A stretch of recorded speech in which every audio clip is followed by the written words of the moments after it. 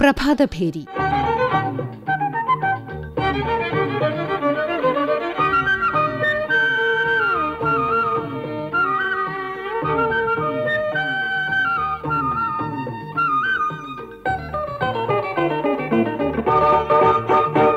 സ്വകാര്യ വാഹനങ്ങൾ അനിവാര്യമായ അത്യാവശ്യമായ ഒരു കാലത്താണ് നാം ഇന്ന് ജീവിക്കുന്നത്. പൊതുഗതാഗത സംവിധാനത്തിന്റെ അപര്യാപ്തതയും ഗതാഗത കുരുക്കുമൊക്കെ കൂടുതൽ പേരെ സ്വന്തമായി ഒരു വാഹനം എന്ന ചിന്തയിലേക്ക് നയിക്കുന്നു. സമയത്തെ ദൂരത്തെ തോൽപ്പിക്കാനുള്ള ഈ മത്സരത്തിൽ ഒരു സെക്കൻഡ് ഹാൻഡ് വാഹനമെങ്കിലും വേണമെന്നുള്ള താല്പര്യം പൊതുവെ കണ്ടുവരുന്ന ഒരു പ്രവണതയാണ്. പുതിയ വാഹനങ്ങൾ വാങ്ങുമ്പോഴും സെക്കൻഡ് ഹാൻഡ് വാഹനങ്ങൾ വാങ്ങുമ്പോഴും ചില വസ്തുതകൾ ശ്രദ്ധിച്ചില്ലെങ്കിൽ ചതിവ് പറ്റിയേക്കാം. വാഹനം പുതിയതോ പഴയതോ ആകട്ടെ ചില വസ്തുതകൾ അറിഞ്ഞിരിക്കേണ്ടതുണ്ട്.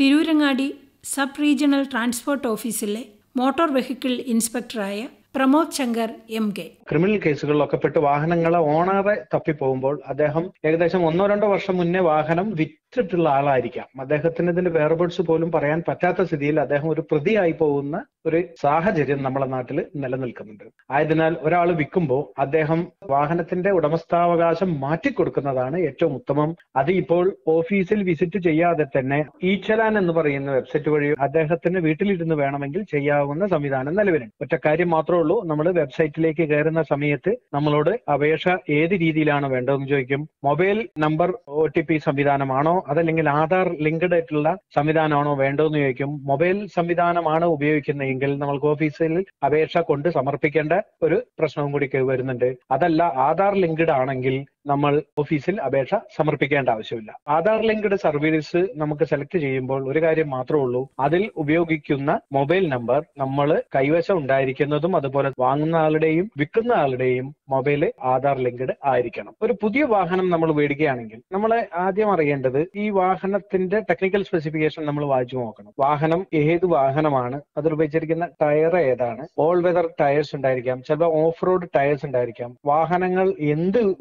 ഉപയോഗത്തിനാണ് ഉപയോഗിക്കുന്നത്. സിറ്റി റൈഡറിനുള്ളതാണോ? അതല്ലെങ്കിൽ അത് അർബൻ റോഡുകൾക്കുള്ളതാണോ? അതല്ലെങ്കിൽ ലോങ് ക്രൂയിസിംഗ് ടൈപ്പ് ആണോ? ഇത് ബൈക്കൊക്കെ മേടിക്കുമ്പോൾ വളരെയധികം ശ്രദ്ധിക്കേണ്ട കാര്യമാണ്. ക്രൂയിസിംഗിനുള്ള ബൈക്ക് മേടിച്ചിട്ട് സിറ്റിയിൽ ഉപയോഗിക്കുമ്പോൾ നമുക്ക് അത്ര കംഫർട്ട് നമുക്ക് ലഭിക്കാവുന്ന ഒരു സാഹചര്യമല്ല. അതുപോലെ തന്നെ വാഹനത്തിൽ ഉപയോഗിച്ചിരിക്കുന്ന ഫ്യൂൽ ആ ഫ്യൂലിന്റെ റേറ്റിംഗ് അതുപോലെ തന്നെ അത് ഏത് പൊല്യൂഷൻ നോംസ് ആണ്? ഇത്തരം കാര്യങ്ങളൊക്കെ ഒരു ഓണർ അറിഞ്ഞിരിക്കണം. ഈ വാഹനം എത്ര ഓടിയിട്ടുണ്ട് എന്ന് തീരുമാനിക്കുന്നത് ഇൻസ്ട്രുമെന്റ് ക്ലസ്റ്ററിലെ ഓഡോമീറ്റർ സംവിധാനം വഴിയാണ്. അപ്പൊ ഓഡോമീറ്ററിൽ കിലോമീറ്റർ ഫോർജറികൾ നമ്മുടെ നാട്ടിൽ വളരെയധികം നടക്കുന്നുണ്ട്. ഒരു ലക്ഷം കിലോമീറ്റർ ഓടിയ വാഹനം ഒരു ലക്ഷം കഴിഞ്ഞു കഴിഞ്ഞാൽ അത് അൻപതിനായിരത്തിലേക്ക് മാറ്റുന്ന ഒരു സംവിധാനം ഡീലർ അതേപോലെ തന്നെ വിൽക്കുന്നവരൊക്കെ ചെയ്തതായിട്ട് പരാതികൾ ലഭിച്ചിട്ടുണ്ട്. ലാസ്റ്റ് സർവീസ് എത്രയ്ക്കാണ്? അത് കഴിഞ്ഞ എത്ര കിലോമീറ്റർ കഴിഞ്ഞു? എന്ന് വെച്ച് നമുക്ക് ഏകദേശം പ്രിഡിക്ട് ചെയ്യാം ഈ വാഹനത്തിന്. അതായത് ഒരു വർഷം മുന്നത്തെ അതേ കിലോമീറ്റർ തന്നെയാണ് ഇപ്പോഴും വാഹനത്തിൽ കാണുന്നതെങ്കിൽ നമുക്ക് സസ്പെക്റ്റഡ് ആണ്. അതുപോലെ തന്നെ പ്രധാന കാര്യം ഓൺലൈൻ പ്ലാറ്റ്ഫോമായ പല സംവിധാനം വഴിയും വാഹനങ്ങൾ വാങ്ങുന്നതും വിൽപ്പനയും നടക്കുന്നു ഫ്രോഡ് ഏജൻസികളും വാഹനം വിൽക്കുന്നുണ്ട്. ഞാനാണ് ഓണർ നിങ്ങൾ അയ്യായിരം രൂപ അയച്ചു കഴിഞ്ഞാൽ ഞാൻ ആ വാഹനം നിങ്ങൾക്ക് എത്തിച്ചേരാം. ബാക്കി എമൗണ്ട് അവിടെ വന്നു വരുമ്പോൾ തന്നാൽ മതി. ഇത്തരം കംപ്ലൈന്റുകളൊക്കെ എത്തുന്നുണ്ട്. അപ്പൊ ഈ അയ്യായിരം രൂപ അയച്ചു കഴിഞ്ഞാൽ പിന്നെ ആ വാഹനത്തിനെ പറ്റിയോ ആളെ പറ്റിയോ യാതൊരു അഡ്രസ്സും കിട്ടാത്ത ഒരു സംവിധാനം. ഏതെങ്കിലും അൺനോൺ ഏരിയയിലെ അക്കൗണ്ട് നമ്പറോ അല്ലെങ്കിൽ ഗൂഗിൾ പേ നമ്പറോ ഒക്കെ ആയിരിക്കും ഇവർ ഉപയോഗിച്ചിട്ടുണ്ടാവുക. വാങ്ങുന്നതും വിൽക്കുന്നതും വളരെ സൂക്ഷിച്ച് ഇത്തരം കാര്യങ്ങളിൽ ചെയ്യാൻ പാടൂ. അവിടെയും നമ്മൾ ട്രാൻസ്ഫർ ചെയ്യുന്ന സമയത്ത് അദ്ദേഹത്തിന്റെ ഐഡന്റിറ്റി ഉറപ്പുവരുത്തുകയും ഓൺലൈൻ സംവിധാനം ഫേസ്ലെസ് സംവിധാനം വഴി അപേക്ഷിക്കുകയും അതേ അപേക്ഷ തീർപ്പായി എന്ന് ഉറപ്പുവരുത്തുകയും ചെയ്യേണ്ടത് നമ്മുടെ ഉത്തരവാദിത്തമാണ്. അതല്ലെങ്കിൽ ഈ ട്രാൻസിറ്റ് ലൈമിൽ എന്തെങ്കിലും ക്രിമിനൽ ആക്ടിവിറ്റിയിൽ ഈ വാഹനം ഉപയോഗിച്ചു കഴിഞ്ഞാൽ അതിന്റെ ഉത്തരവാദിത്തം രജിസ്റ്റേർഡ് ഓണർക്ക് അതായെങ്കിൽ ഇപ്പോഴുള്ള നിലവിലുള്ള ഓണർക്ക് വരുന്നതായിട്ട് നമ്മൾ കാണുന്നുണ്ട്. ആ വാഹനം നേരിട്ട് പരിശോധിക്കുകയും നമ്മൾക്ക് വേണ്ട ക്രൈറ്റേറിയ ഫുൾഫിൽഡ് ആണോ? ആ വാഹനത്തിൽ ആക്സിഡന്റ് ഹിസ്റ്ററി ഉണ്ടോ?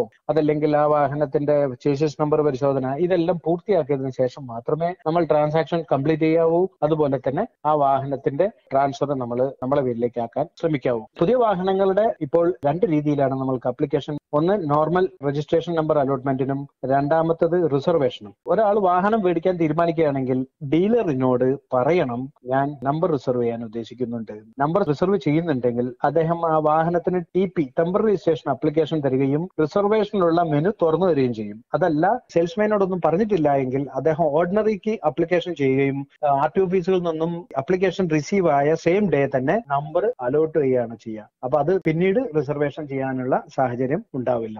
പഴയ വാഹനങ്ങൾ വാങ്ങുമ്പോൾ ഈ challan dot Parivahan dot G O V dot in എന്ന വെബ്സൈറ്റിൽ കയറി വാഹനത്തിന്റെ പരിശോധന നടത്താവുന്നതാണ്. Malappuram enforcement control room motor vehicle inspector Muhammad Shafeeq. വാങ്ങുന്ന ആൾ അതിന്റെ ചേസിസ് നമ്പർ നിർബന്ധമായിട്ടും വെരിഫൈ ചെയ്യണം. പലപ്പോഴും വാഹനം വാങ്ങുമ്പോൾ ഫോർജഡ് ചേസിസ് നമ്പർ ഉള്ള വാഹനം വാങ്ങി രണ്ടാമത് മറ്റൊരു സർവീസിന് വരുന്ന സമയത്ത് ഈ വാഹനത്തിന്റെ തുടർ സർവീസ് നടത്താൻ പറ്റാത്ത ഒരുപാട് സാഹചര്യങ്ങൾ റിപ്പോർട്ട് ചെയ്യപ്പെട്ടിട്ടുണ്ട്. ആ വാഹനത്തിന്റെ പേരിൽ നിലവിൽ എന്തെങ്കിലും കേസുകൾ ചലാനുകൾ പെൻഡിങ്ങിലുണ്ടോ എന്നുള്ളത് നമ്മൾ പരിശോധിക്കണം. അത് പരിശോധിക്കുന്നതിന് വേണ്ടി ഈ challan dot Parivahan dot G O V dot I N എന്ന വെബ്സൈറ്റിൽ കയറിയാൽ വാഹനത്തിന്റെ നമ്പറും ചേസിസ് നമ്പറിന്റെ അവസാനത്തെ അഞ്ച് ഡിജിറ്റ് അതിനകത്ത് എന്റർ ചെയ്ത് കഴിഞ്ഞാൽ ഏതെങ്കിലും ചലാൻ ആ വാഹനത്തിന്റെ പേരിൽ പെൻഡിംഗ് ഉണ്ടോ എന്നുള്ളത് നമുക്ക് ഉറപ്പുവരുത്താം. ഉണ്ടെങ്കിൽ അത് ക്ലിയർ ചെയ്യേണ്ടത് നിലവിലുള്ള ഓണറുടെ ബാധ്യതയാണ്. അത് ക്ലിയർ ചെയ്തിട്ട് വേണം പുതിയ ആളുകൾക്ക് ട്രാൻസ്ഫർ ചെയ്യപ്പെടാൻ.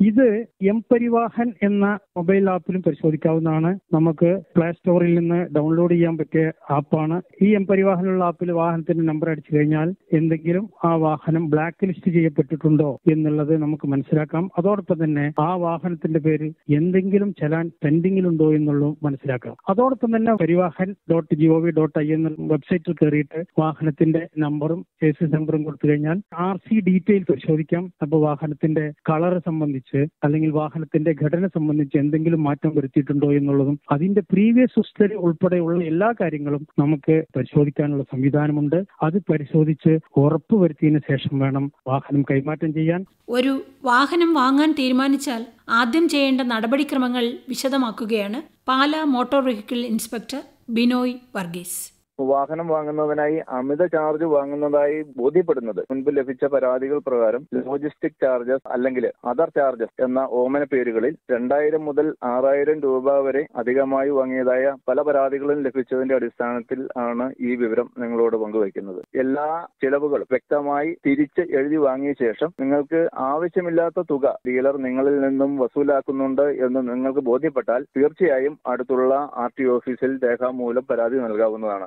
വാഹനം വിൽക്കുന്നതിന് ഡീലർക്ക് ആർ ടി ഒ നൽകുന്ന ഒരു അധികാരപത്രമാണ് ട്രേഡ് സർട്ടിഫിക്കറ്റ്. നിങ്ങൾ ഇത്തരത്തിൽ പരാതി നൽകിയാൽ നിങ്ങളുടെ പരാതി ശരിയാണെന്ന് ബോധ്യപ്പെട്ടാൽ ഡീലറുടെ ട്രേഡ് സർട്ടിഫിക്കറ്റ് ക്യാൻസൽ ചെയ്ത് അവരുടെ തുടർന്നുള്ള വാഹന കച്ചവടം നിർത്തുന്നത് ഉൾപ്പെടെയുള്ള നടപടികൾ ആർ ടി ഒയുടെ ഭാഗത്ത് നിന്ന് തീർച്ചയായും കൈക്കൊള്ളുന്നതാണ്. രണ്ടാമത്തെ കാര്യം ചില ഡീലർമാർ ഒരു പാക്കേജ് പോലെയാണ് രജിസ്ട്രേഷൻ എടുത്തിരിക്കുന്നത്. ഇൻഷുറൻസ് എടുത്താൽ മാത്രമേ ഞങ്ങളുടെ വാഹനം തരുകയുള്ളൂ എന്ന് നിർബന്ധം പിടിക്കുകയും വാഹനം കൊടുക്കാതിരിക്കുകയും ചെയ്ത പല പരാതികളും മോട്ടോർ വാഹന വകുപ്പിന് ലഭിച്ചിട്ടുണ്ട്. ഇത്തരത്തിൽ യാതൊരു നിയമവുമില്ല. വാഹനത്തിന് ഇൻഷുറൻസ് എടുക്കുന്നതിന് ഏതൊരാൾക്കും അവനവന്റെ ഉത്തരവാദിത്വത്തിൽ എടുക്കാനുള്ള അവകാശമുണ്ട്.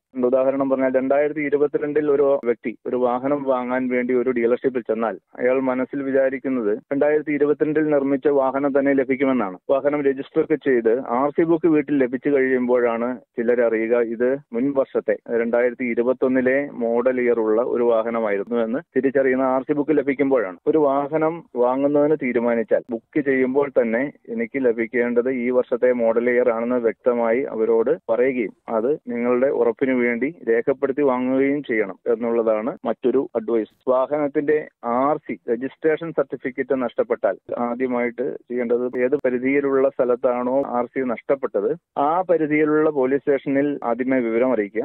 ഡ്യൂപ്ലിക്കേറ്റ് ആർ സി എടുക്കുന്നതിനുള്ള അവസരം ഉണ്ട്. അതിനുവേണ്ടി ആ പോലീസ് സ്റ്റേഷനിൽ ഡ്യൂപ്ലിക്കേറ്റ് ആർ സി എടുക്കുന്നതിന് വേണ്ടി നോ ഒബ്ജക്ഷൻ സർട്ടിഫിക്കറ്റിന് വേണ്ടി അപേക്ഷിക്കണം. പോലീസ് സ്റ്റേഷനിൽ നിന്ന് ലഭിച്ച നോ ഒബ്ജക്ഷൻ സർട്ടിഫിക്കറ്റുമായി ആർ ടി ഓഫീസിൽ ഹാജരാക്കിയാൽ അത് പത്രത്തിൽ ഒരു അഡ്വർടൈസ്മെന്റ് കൊടുക്കുന്നതിനുള്ള മാറ്റം. അത് അവിടുത്തെ ഓഫീസ് മേലധികാരി സർട്ടിഫൈ ചെയ്ത് ഉടമസ്ഥന് തിരികെ നൽകും. ഏതെങ്കിലും മോർണിംഗ് ദിനപത്രത്തിൽ പരസ്യം കൊടുക്കുക.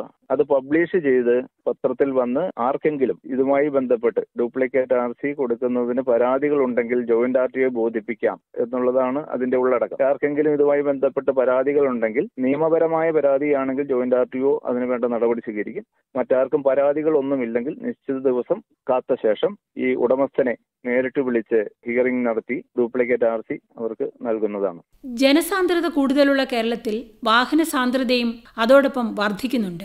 സംസ്ഥാനത്ത് പ്രതിവർഷം പത്ത് ശതമാനത്തോളം വർധനവ് രേഖപ്പെടുത്തുന്നുണ്ട്. അതുകൊണ്ട് തന്നെ പുതിയ വാഹനങ്ങളും സെക്കൻഡ് ഹാൻഡ് വാഹനങ്ങളും ധാരാളമായി വിൽക്കുകയും വാങ്ങുകയും ചെയ്യുന്നു. വളരെയധികം തട്ടിപ്പുകൾ അരങ്ങേറാൻ സാധ്യതയുണ്ടെന്ന് മനസ്സിലാക്കി തികഞ്ഞ ജാഗ്രതയോടെയാകണം വാഹനം വിൽക്കുവാനും വാങ്ങുവാനും.